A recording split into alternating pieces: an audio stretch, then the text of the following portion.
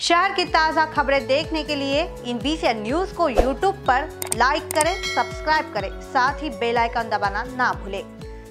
Lockdown के मद्देनजर पिछले दो दिनों से राष्ट्रीय स्वयंसेवक संघ की ओर से एसटी बस स्टैंड में आने वाले यात्रियों को मेडिकल जाँच, खाना खिलाकर और अन्य सुविधाओं के साथ आगे उनके निवास स्थान के लिए भेजा जा रहा है। यह वही लोग हैं जो राज्य के अलावा अलग अलग क्षेत्रों में फंसे हुए हैं और इन्हें इनके घरों की ओर किया जा रहा है। यह जानकारी संघ के विद्यार्थी प्रमुख इतवारी भाग के अनूप घुमरे ने दी है। राष्ट्रीय संसद संघ विद्यार्थी विभाग, यूथ फॉर सेवा और इतवारी भाग की ओर से यहाँ पे जो प्रवासी मजदूर, जो पैदल चल चल के आ रहे थे, जिनको नागपुर महानगर बस सेवा के माध्यम से उनके उनके स्थानों पे पहुँचा रहे थे, जितने भी यहाँ पे प्रवासी मजदूर पहुँचे हैं, उनको खाने पीने की व्यवस्था, उनको रिलैक्स करने की व्यवस्था, जो लेडीज़ है, उनको लेडीज़ किट देना, बच्चों को बिस्किट देना, उसके बाद में उनका मेडिकल चेकअप करवाना मेडिकल चेकअप करने के बाद में उनको जहाँ जाना है, जैसे छत्तीसगढ़ बॉर्डर एमपी बॉर्डर, उसकी तरह बाइफरगेट करना और उसके बाद में उनको उनकी जगह तक पहुँचाना।